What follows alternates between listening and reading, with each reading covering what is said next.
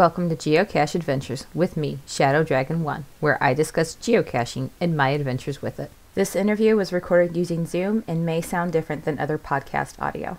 Hello, everybody. Shadow Dragon 1, Amy here. Uh, welcome to Geocache Adventures. I have with me Dan, fellow geocacher and the lead designer at DPH Games, a company that created a geocaching game. Thank you so much for joining us. Thanks. Thanks for having me. First of all, let me ask you, how did you get started into geocaching?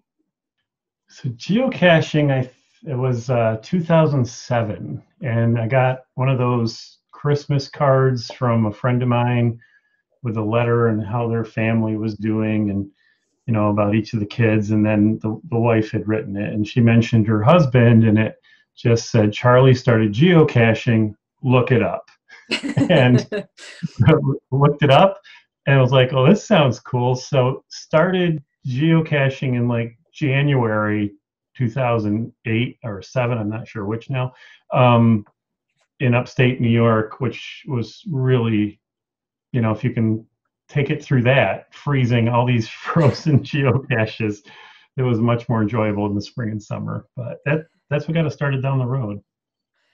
That's a neat little twist. A Christmas card led to a hobby. Yep. So, what kind of, if you, you've been caching since about 2008, 2007, what kind of stats do you have currently? Well, um, I had to change my profile back in the day. It's not, I probably around seven, I'm embarrassed, probably around 700 geocaches just because um, uh, I forget to record a lot of them. And then, oh. um, like a bunch then once I started the company with the geocaching game in 2013, it actually made it really hard to geocache because I was traveling around to geocaching events, but I'm at the vendor booth the whole time. So wow. I'm not going out and getting caches. Um, so, and then, but kind of a, a, funny story of my old age is I was out hiking this summer and I'm like, wow, there's, there's a cache nearby. I'll go get it. I'm like, man, this looks familiar. This looks familiar. And I find the cache. I go back to log it, and I found it five years ago. Just oh, remember.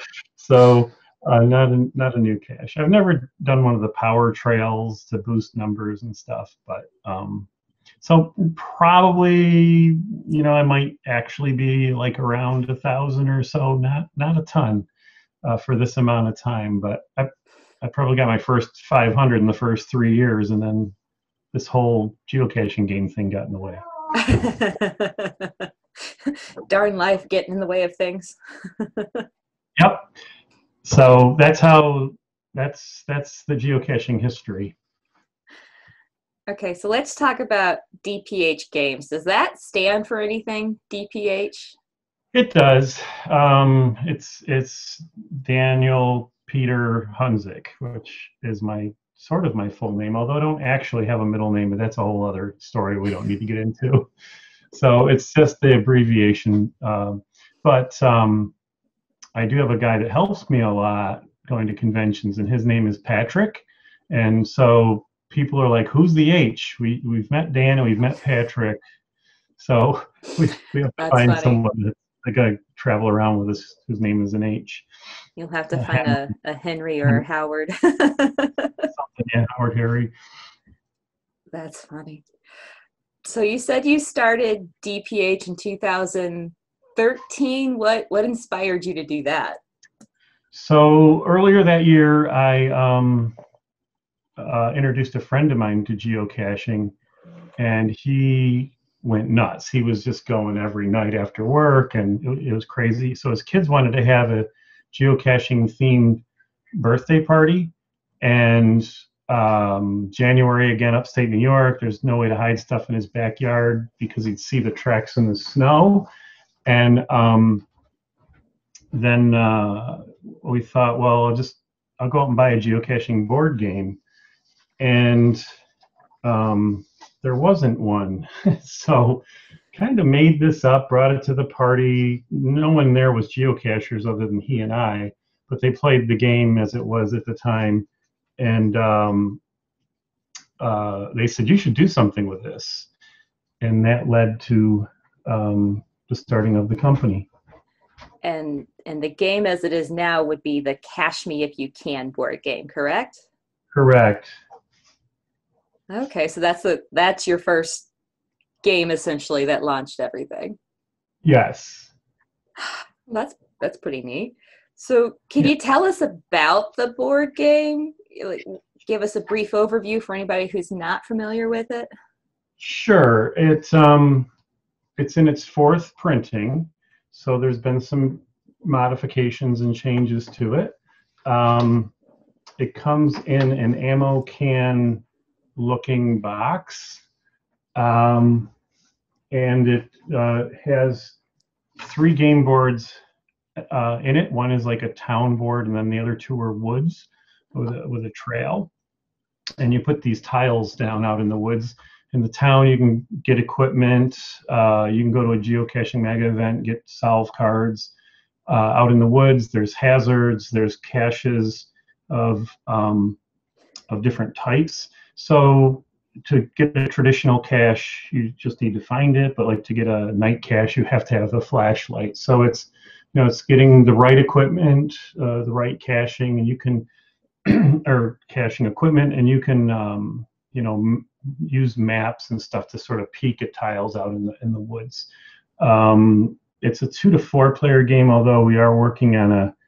I'm actually probably 80% done on a solo uh, rule set for it, so you can play uh, against AI geocachers. Um, but uh, it's it's basically a race to who can collect the most points.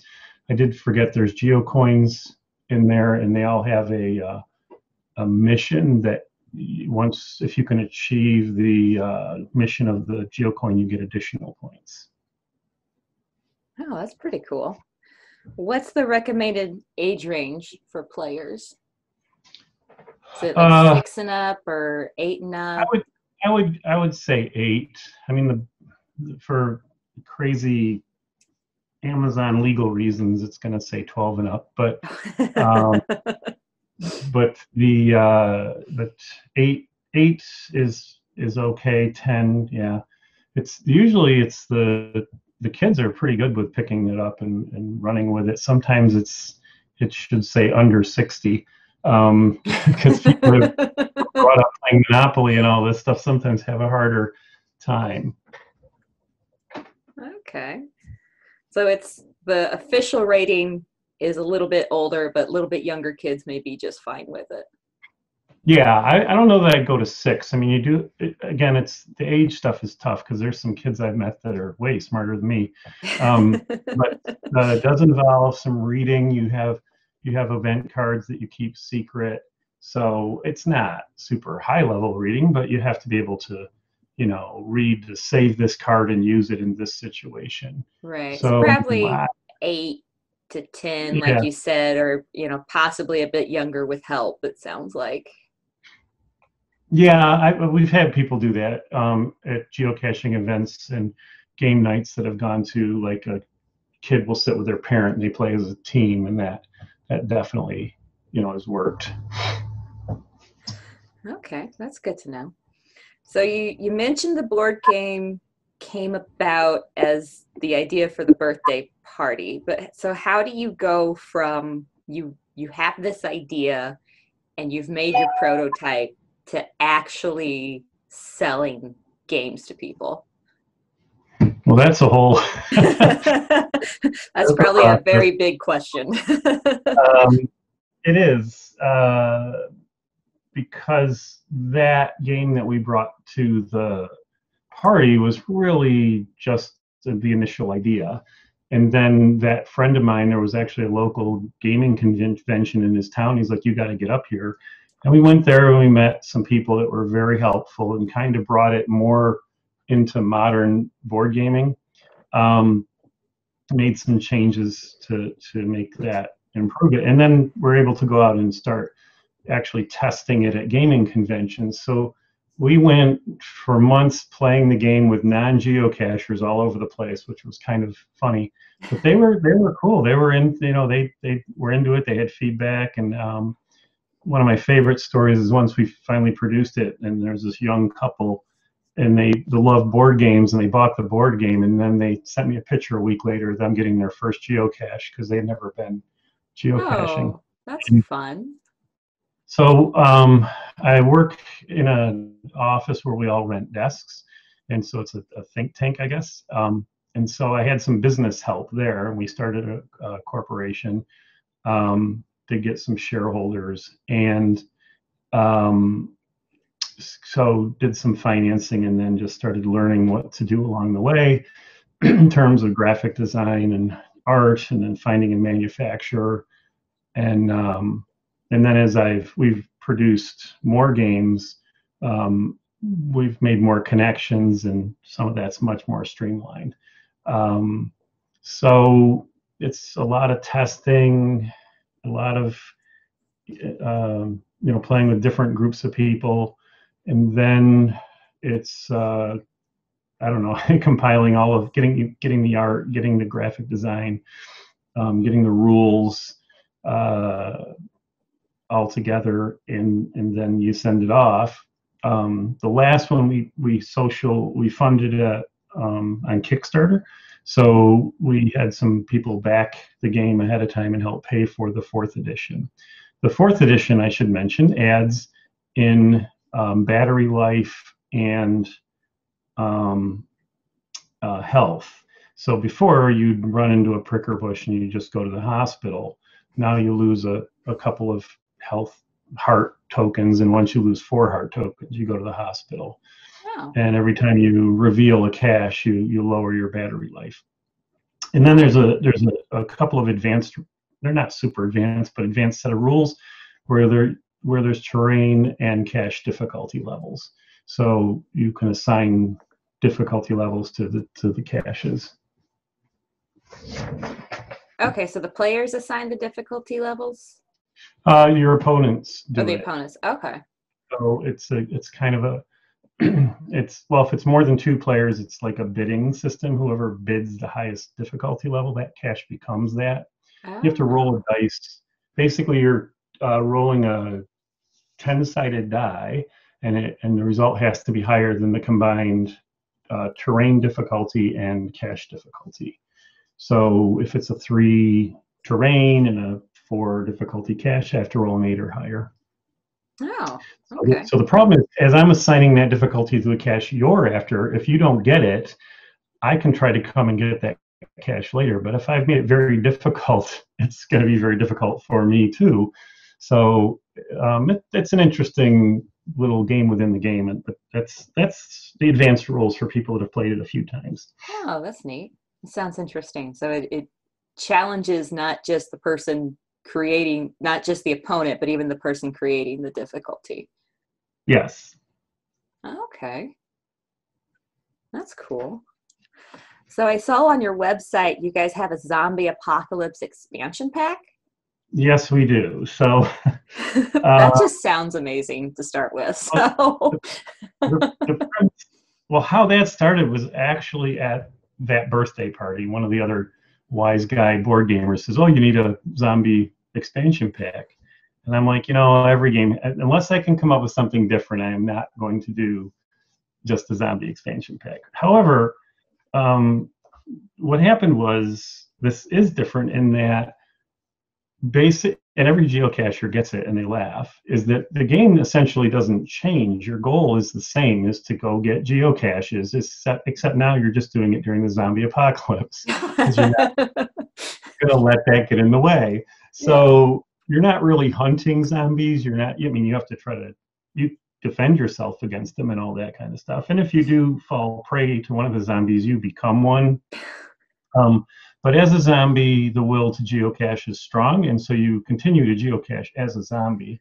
I love it. and, uh, yeah, it's it's it's kind of kind of wild. But um, we did at one point have a superhero ge- geocaching expansion, um, and it was designed that you could actually.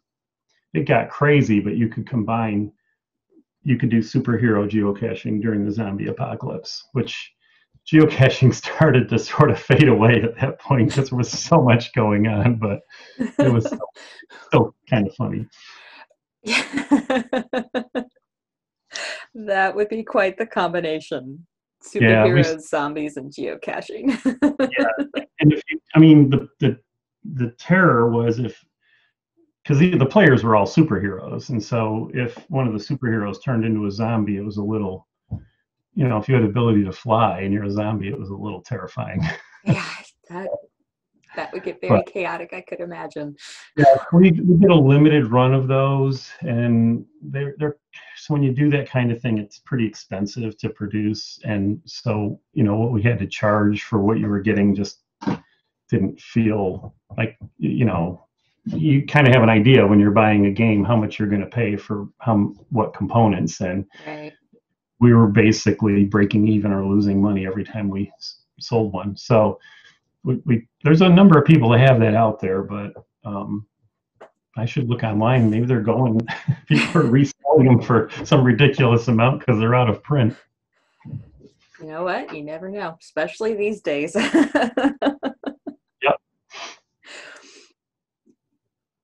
Speaking of these days being different, how has COVID and the pandemic affected you guys? Because you mentioned before that you go to events, and I'm guessing that has sort of limited the event options.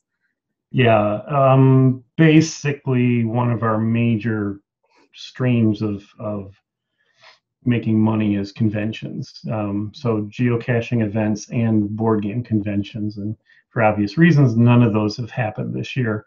Um, you know, so it's not been great.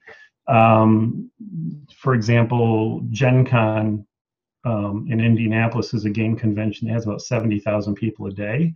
So we'll probably see a few thousand people coming by our booth and, and whatever. And so they did it online this year and we interacted with 28 people. So it's oh, wow. a bit of a drop off. Um, you know, but it's, but it's, uh, fortunately there's a, a thing called, um, tabletop simulator. So what's ended up happening is we're spending a lot of time in development. Um, I have play testers that are local here at upstate New York, and then I had some another group that was an hour away, and then another group that's a few hours away in Harrisburg. And because now we're doing this all online, they've intermixed and got to meet each other, and it's been kind of interesting. Um, but the good thing is the online thing is just not as satisfying. And so when we are able to get together again, it's just sitting around the table playing board game is so much better. Yeah, definitely. Online games are are great to have available, especially right now when you can't really get together in a lot of places. But yeah, there's something about just playing in person that it's just so much better. right, and it's it's the main reason that I'm doing this is is to you know, with all the people you meet and um, and, and to sit around and just have fun with a group of people. Um, just to, you know, so I kind of mentioned in the development of the geocaching game, we were at conventions playing with people, and you know they don't know what a geocoin is, and and they don't know. They get an event card that says you've been stopped by the police. They're like, they they, they go, oh, okay, but they don't chuckle because they don't quite get, you know, that that's that's never happened to them. And so when we were finally able to bring it to geocachers, it was kind of crazy to watch because it's just like uh, you know laughing and saying, "Oh my god, this is all the stuff that happens to to me," you know, and um, it's just that interaction is what you know drives drives motivates me. So it's been a uh, you know a long year for for us, but it's been a long year for a lot of people. So I'm not complaining. I know as of right now, there is, I believe it's called MOGA, the geocaching event in Kentucky for next Memorial Day 2021. Mm-hmm. Are there plans for you guys to be there at that event? Um, so that's been the the theme of the year is it's been impossible to plan anything. so yeah. um, I I probably personally will not attend a large gathering until I have a vaccine. And I'm pretty low on the list, so I don't know. Um, maybe.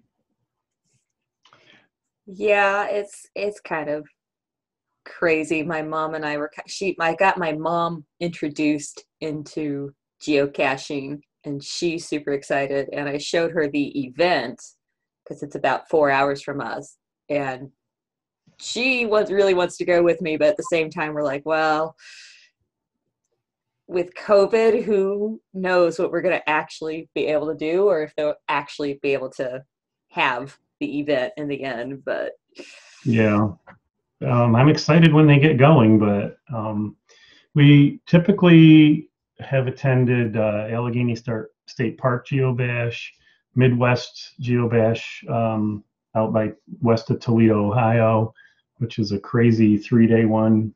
Um, the uh, New Jersey, gee, you know, it's been so long now, I'm forgetting the names of them. That's sad. Uh, uh, Metro Geobash down in Jersey, Berkshire ended a couple years ago, so that's not going on. Um, and and then if uh, like Moga has kind of it depends. Moga wandered up into Athens, Ohio one year, so we went to that. Um, and then uh, Geo Woodstock, depending on where that lands. I'm assuming they're going to do it in Seattle again, but I don't I don't know um, if that's going to happen. And um, yeah, I'm like I'm going like one week at a time. yeah, I can't I can't blame you for that. It's yeah, yeah, it's just an insane year that I don't think has gone the way anybody anticipated ever. So no. Oh, do you remember what the first geocaching event was that you took the board game to?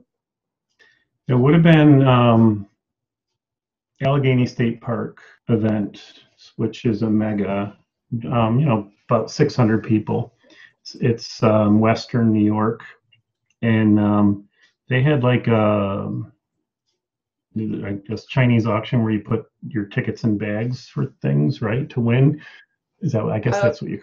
Like a um, like a raffle drawing. Yeah, yeah, but you you know they have bags sitting around the table next to the items, and so you put your okay. You buy tickets and you put them in the things that you wanted. And okay. so we had we had donated a, a game, and the bag was full. Um, and the problem was, you know, we sold some games, but I had to learn. But we missed out on a lot of sales because people were like, "Well, I'm waiting to see if I win it." And then oh. the auction was the last thing, and then everyone went home, and it was like, yeah, we're not doing that again. You know, we'll, we'll raffle off T-shirts or you know um, uh, gift certificates or something else. But uh, it's just human nature. I mean, if you're going to get one for free, why would you you know why would you buy it? Right. Um, so we we we learned our first year. We still sold a, a fair number, but it was kind of like, oh yeah, maybe we shouldn't do that again. as long as you learn from it, right? That's the important part. So you guys also have a card game version. Yes. And is it the same goal to get the most number of points, or is it a different goal? It is. Uh, what happens is it's the style of game is called a press your luck game. So you keep flipping cards off the deck. Um, if you get two hazards, you bust and you lose all the cards in that lineup. Um, what you're trying to do is get coordinate a coordinates card along with geocache types of geocaches. And some are, again, traditional caches, which you can end your turn at any time and collect. But, you know, there's two out there and there's one hazard. Maybe I should just stop and collect them now, but maybe I could flip one more card, and that's the pressure less luck aspect. And if that card is a hazard, then you bust and lo- you don't get any of those caches. Um, okay. You can also end your turn by collecting a piece of equipment. So there's things like flashlights and, and jackets and stuff. And you go through the deck three times. And so, in that same situation where you have a, a one hazard out, a, a, coordinates card, and maybe a couple of caches, and you flip the next card and it's pricker bushes. And normally you would bust, but if you have gloves, if you have the heavy gloves, uh, you won't bust. You just discard that card. Oh, okay. Um, so some of the equipment helps with the hazards. Yes. And so do you gather up a lot of equipment early on or do you collect caches? And so it's a pretty easy game to play and it plays pretty fast, but there's there's a, a fair amount to it. Um, there is one card in the deck, uh, the, the bear. And so when the bear comes out, you automatically bust. Oh. And, uh, and it's, it's not good to see bears. And the third time through the deck, when the bear comes out, the game ends there's a there's a couple other little twists and, and equipment and stuff in there, but that's that's the core of it. About how long does it take to play? You said it was a pretty quick play, so we talking um, like yeah, 15, 15 20 minutes. minutes? Okay. Yeah, 15 minutes. And um, uh, yeah, it's we brought out that I want to say that was Berkshire. No, it might have been Midwest. I can't remember which. I just remember getting an email later from this from a, got a friend of mine through geocaching, but said thanks a lot. We stayed up till 3 a.m. playing that stupid card game. Oh. just kept going over and over again. So oh, like, yeah, that's funny. Welcome. I'm glad you liked it. yeah. so comparatively, how long does the board game typically take? So two player is about a half hour, and four players about an hour. The more players, it takes a little longer. Um, okay. There's a uh, the, and it twists and turns, and it's kind of funny because um, it was Cash the Line played it. They did a live virtual play, and you know it was online, so it took longer because I have to tell you what I'm doing. One person had the board in front of them, and everyone had cameras. You know, I think uh, one or two are in Canada, one's Australia. Anyway, so they start going through and they're, they're going through pretty quickly, and it looks like someone's going to win because you played at 15 points, and I think she was at 12 or something. And they said, you know what, let's play at 18 because we want it to go longer. And what happened is somebody played a card where she lost points, and then it went on like another. It's not. It wasn't designed to do that. So I think it took them like an hour and a half almost two hours to play because that little extension they did. Oh wow! Everything spun differently, and they were like, "Oh, it's just going so smoothly." I'm like, "Yeah, but hazards come out and stuff." So, but normally it's about it's about an hour you know, for four players. It's about an hour game. So for the card game, is that also two to four players, or what's the player range on that one? Yeah, it's listed as two to four, so it is two to four. Um, I mean, you could probably try it with five. Um, there just might not be enough cards to do that. So, um, and actually, there's a again, we have a solo set of rules for that. That people that order it from us, we just attach the solo set in, but oh, okay, they're not final, final, fully tested. So you guys have quite a few different kinds of games here. Looking at your website, you've got an Inca Empire, You've got psychological warfare. You've got mm-hmm. cats, a sad but necessary cycle of violent predatory behavior. You, you have quite the variety of, of board games here. So I got to ask you, which one of all of your games is your favorite? Uh, okay. It, it really it really depends on what you're in the mood for. Um, so because I play in a normal year, I'll play these at conventions quite a bit. Um, the Gate of R'lyeh is a so it's called, it's a social deduction game. So what that means is uh, the group of us is trying to achieve a goal, but hidden amongst the group is a few people that don't want us to, and they're trying to subvert the entire thing, and and you don't know who they are. Um, so I've probably played Affliction about 13 to 1400 times. So when you play a game, and that game is still, it's still very, I still see things happen in that one. And it's a very strategic game. It's about the Salem witch trials. It's historically accurate. But with the Gate of R'lyeh, there's just the social interaction is is really what it's about because you know I'm pretty sure you're a cultist and and that's you know and, but i'm not and all the things a cultist would say are the same things investigators would say and so um, at conventions with new groups of people i would say Gate of R'lyeh is probably the the favorite one, um, but that's it's. I really have a hard time saying favorites. Um, we had uh, uh, Origins in Columbus, Ohio, one year. We had so many people descend upon our booth that um, we had f- uh, four people playing the geocaching game, and one of them is is a, a guy who's a big time gamer and a big time geocacher, and he already owned the game. I don't know. He just was. I think that year we, if you played so many games, you were getting buttons and stuff, and so he wanted he wanted to collect all these uh, buttons. So he he came to play. So he ends up. We didn't have enough people. He ends up teaching the game to everyone else for us, and we're like, I'm like, thank you. And I'm That's like, you guys are great. 'Cause it- Yeah, because he knew he knew in and out how to play it. So um, there's lots of great fun convention stories, and um, but yeah, favorite is tough because it has more to do with like how many thousands of times I've played at that point in time. I- Um, I imagine you've played quite a few board games uh, quite a bit more often than the average player would, just because of all your conventions and events you take them to. uh, yeah, yeah. Um, I'm I'm assuming so. Although there are some people that play a lot. Give me a run for my money there. Oh, and especially with the pandemic, what a great way to be able to still do something with geocaching, even if you're in an area where you can't really go out and cache, is to have a board game or card game option.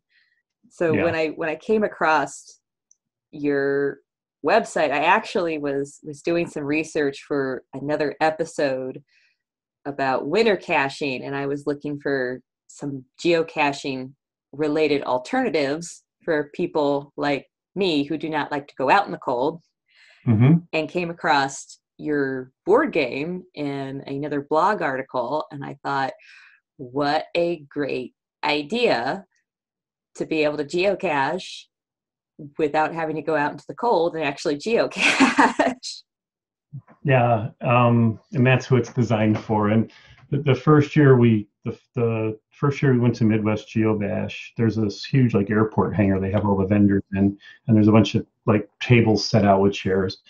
And at the beginning, I, mean, I don't, you know, why people would do this, but they would come up and say, "Why would I buy a board game about a game?" You know, and so I'm like, "Well, I don't know, but if I can sell to one percent of all the geocachers, that's still sixty thousand games. I'll, I'll take it."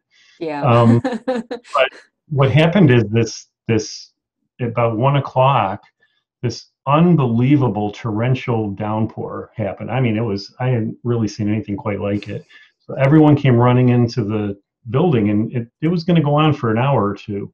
So we couldn't swipe the credit card thing fast enough.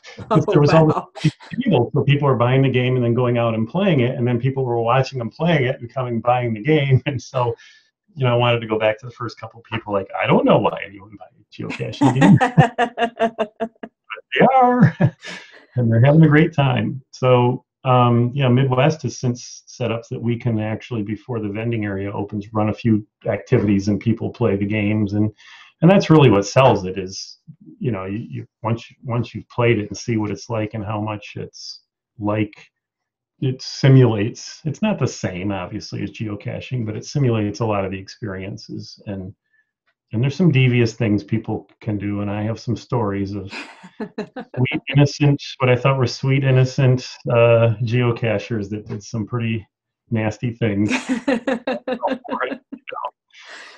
Turned out they had a dark side to them. they loved it they just giggled That's fun. It also seems like a great way to introduce people to kind of the the idea of geocaching. You know, like you said, it is different than actual geocaching, but it has a lot of the same aspects. And you did mention uh, the one couple bought your game and then went out geocaching because of it. Do you do you get a lot of stories like that from the, the Um, non-geocaching events? Well, I think early on, more than now, because what happened is we were going to board game conventions, and all we had was the geocaching game. So people would be like, "What's this? You know, what's this?" And then we came out with Psych Warfare, and so that sort of split us in half. And then Cats, and we split in thirds, and then Affliction, and on and on. And so now with uh, ten, whatever we got here, nine nine games, um, it's pretty much geocachers spot the game now and then want to play it. Okay. Is um, kind of what happens. So we haven't had that experience as much, but boy, starting out, it used to happen uh, a fair amount. That's neat to to know that your game helped introduce some people to the hobby. And then I Yeah. like in my house, I am I am the geocacher. My husband is not. He humors me sometimes. I've introduced my mom to it. My sister doesn't do it, but I could get them to sit down. Well, granted, during non-pandemic times, we would we have about weekly family dinners every week or every other week, and a lot of times we'd end up playing games. And I could definitely get them to sit down and play, at least try it once, and play a geocaching board game with me, where I may not be able to convince them to go out and geocache per se. So Uh, and I, yeah, there is, like I said, the uh, there are some differences in the fourth edition, and where they came from is from all the other games, things I'd learned about in in developing the other games from from the first edition to the fourth. So things like the equipment deck, you don't just draw a card at random, but you you have the deck where you can draw the top card, but there are three cards that are face up. Because when you go shopping, you choose what you want. Now, maybe they don't have the item you want, so then you can go random and take one off the top of the deck. But just little things like that, that where you have a little more agency in how the game is played and how it goes. do you have any um, new editions of it coming out? Is the is the fourth edition pretty pretty recent, or has Yeah, the, the fourth edition came out last fall, I believe. Okay, so so no that new was- ones in the work as of right now. No, that was a big that was a pretty big revamp in, in the sense that we went through the rules and redid the rules and made them um, that's been gradually happening, but the the first edition I thought people read words and it was just like a uh, the rule book was just basically words.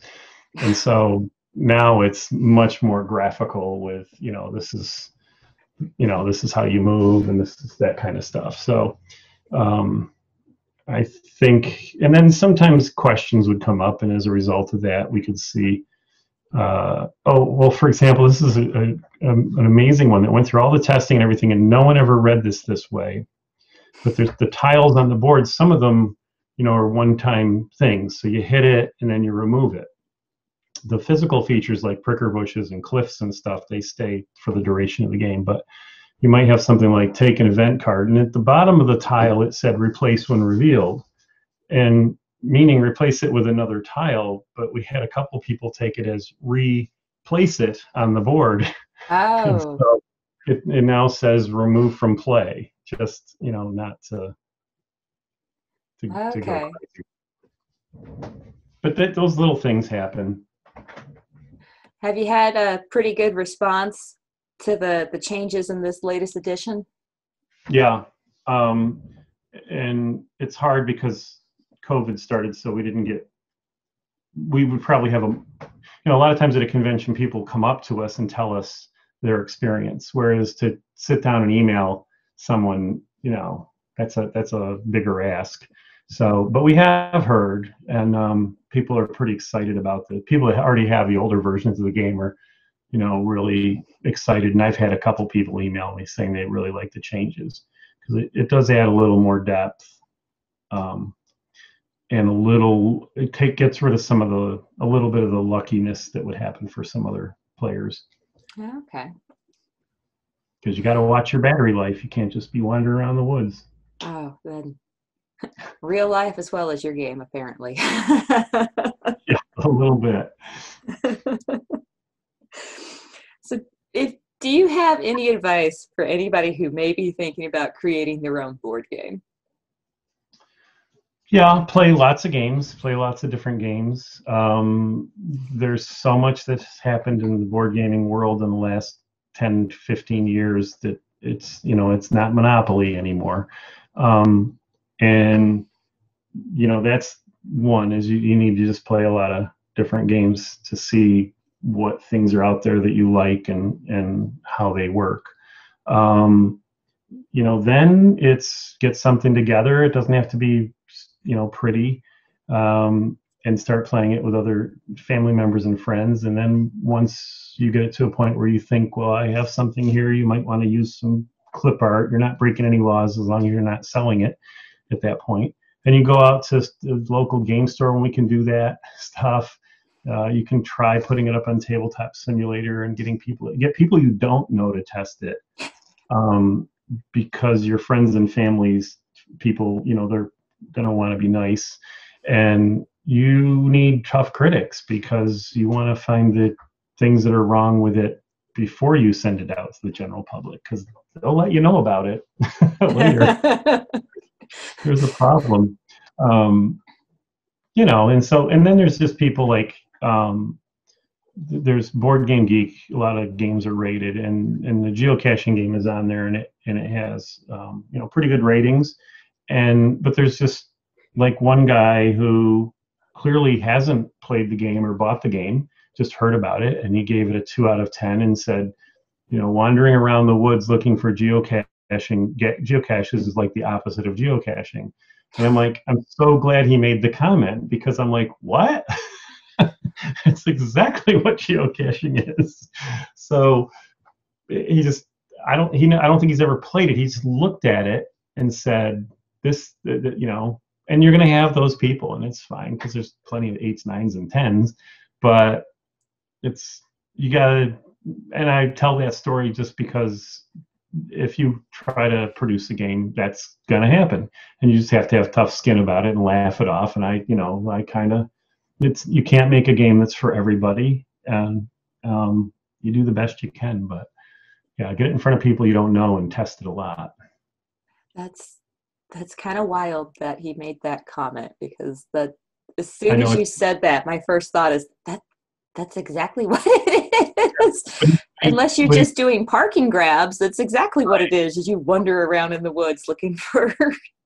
um, so he could have just gone on and put a two out of ten and not made a comment, and that would have hurt a lot more because the comment being there, I think people read it and go, "Yeah, I don't, I don't think he's played this." So, uh, and it, you know, and it proves that we didn't rig all the ratings too.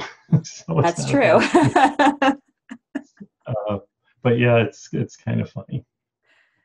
So anyway anybody that's interested in buying the Cache Me If You Can board game or card game or any of your other games, what is the best place to buy them at? You so, mentioned Amazon, but then they're also available through the your DPH website, correct?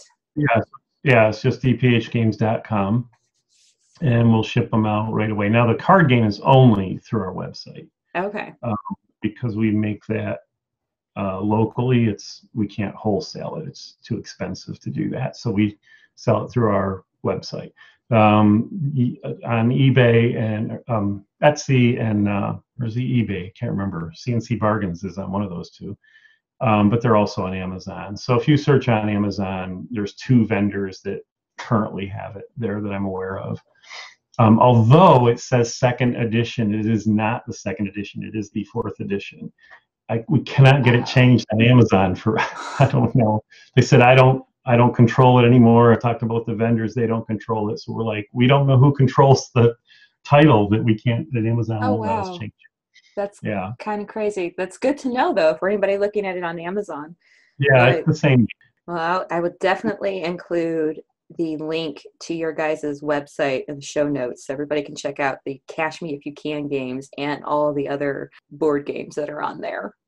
So normally this is where I would insert the spoiler warning for the cache highlights, but as I did not have a cache ID in this instance, I'm foregoing the warning. Uh, it's still a really fun story, and I hope you guys enjoy it. Did you have a cache you wanted to highlight for us? Well, I had a story about a story. one. I would love to hear it. I don't know if it's still out there, but um, this was my highlight. So I think there was eight of us around this thing. So basically, this guy took this safe and put it in a slab of concrete and buried it in the ground. So finding and the, the surface was exposed. So finding it was easy. So there's a tumbler lock with a little key hole. And you got to get this thing opened. And the name of it was, oh, it's been so long. It's just, it was called Safe like 948 or whatever.